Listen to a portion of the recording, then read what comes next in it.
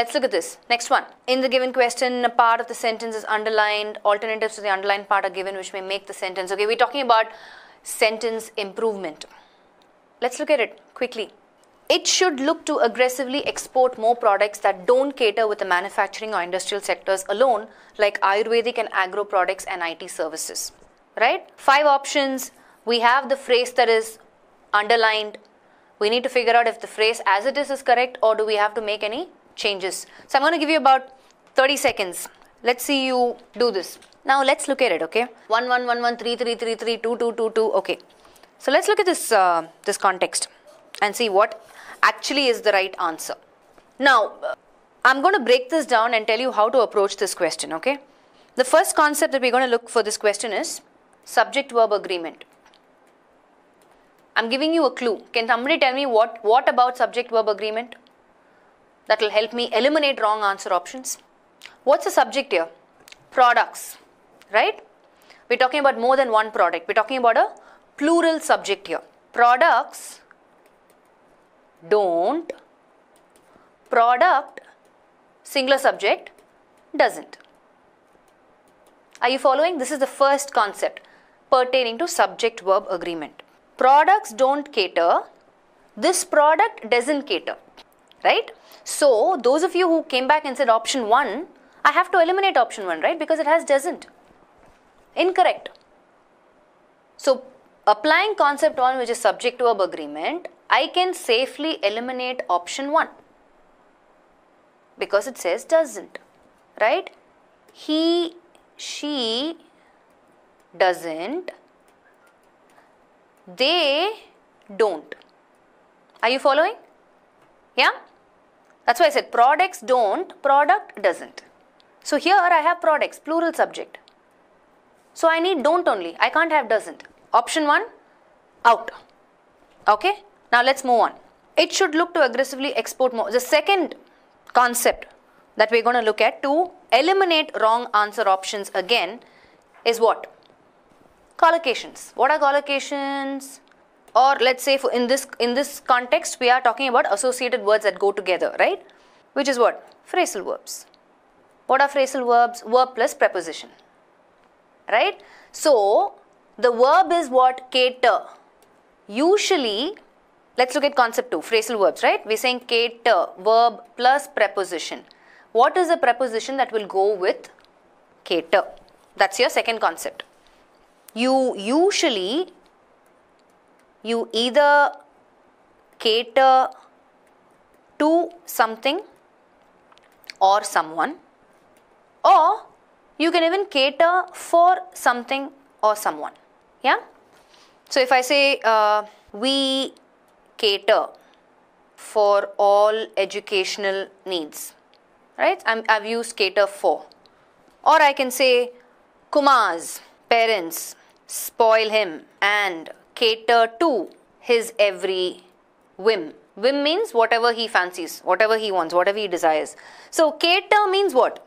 In the first context, we cater for all educational needs means we help, we provide, we sustain, we support right? Kumar's parents spoil him and cater to his every need. Here means what? They are indulging him, they're spoiling him, they're pampering him. So in that sense, whatever does not have cater to, can I eliminate quickly? So cater in, out. They were not catering with, out.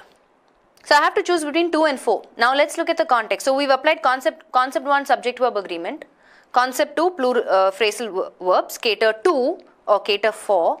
Right, I have to choose between 2 and 4 it should look to aggressively export more products which means we're talking about something in the future right it should look to aggressively export more products that don't cater to the manufacturing or industrial sectors with the manufacturing industrial sectors along with ayurvedic and agro products and IT services are you following so answer is to why because we're talking about something that has to be done in the future. So I cannot have, this is talking about something in the past, right? That we're not catered to. We're not talking about a past context.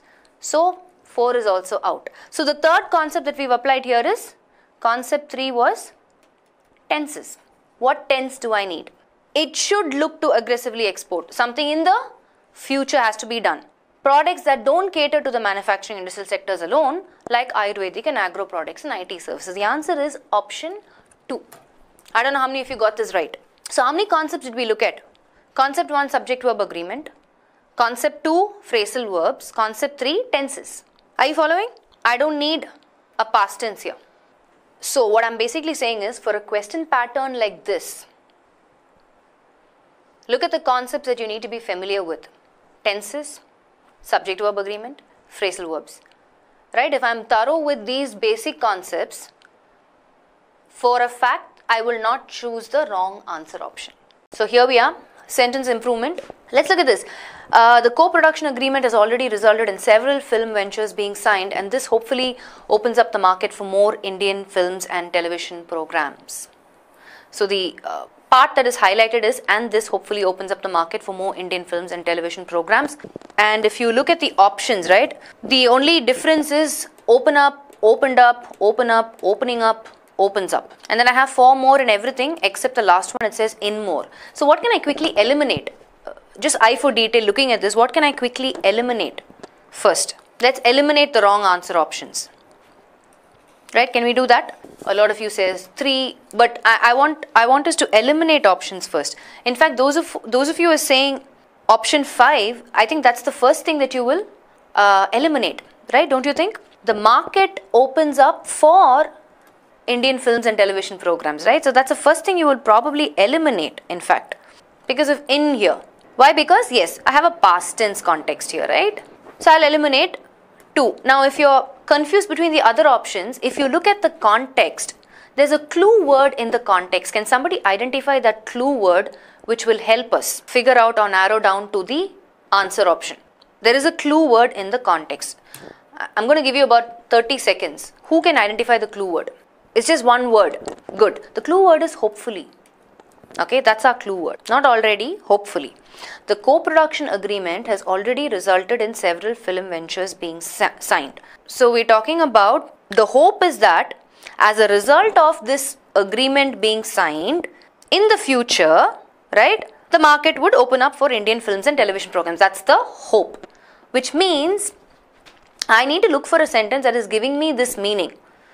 Because of this agreement, this process has already started the hope is that in the future, this is what will happen. So, what is the option that is giving me that meaning? Is it 1, 3 or 4? Yes, 3. And this would hopefully open up the market for more Indian films and television programs. So, my question is then what's wrong with 1 and 4? And this is hopefully opening up the market. Right? Continuous tense, I don't need that. Incorrect. What's wrong with 1? Opens up. Right? It, it should be opens up. And this singular subject, singular verb opens, S should be there, it's not there, out. Right? A little bit of subject verb agreement therein. So the clue is hopefully. Every time you have a context like this, one is you can do it both ways. One is you can quickly, step one, try and eliminate wrong answer options. Narrow your answer options. Eliminate wrong answer. Right?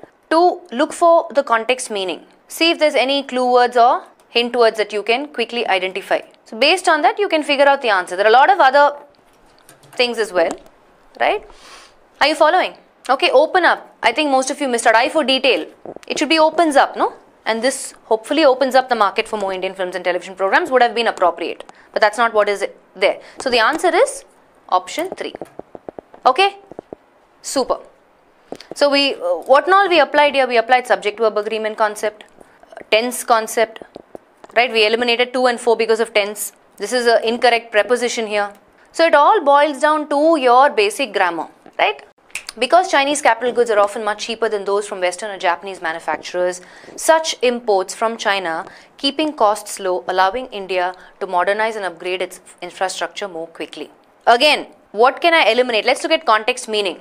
See, you have this, uh, okay, I will give you a clue, okay? Because is one clue. So the context is giving me a meaning saying a reason why something is possible. I want you to keep looking at contexts which you can quickly eliminate.